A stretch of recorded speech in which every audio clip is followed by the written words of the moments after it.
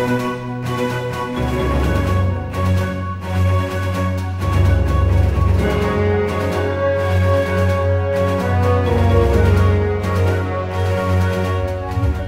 de le faire lui-même couler pour protéger son trésor, l'amiral Barbenoire l'a évidemment maudit et a fait un pacte avec le diable pour que quiconque le retrouve soit directement renvoyé au fond des océans avec son bateau et son trésor.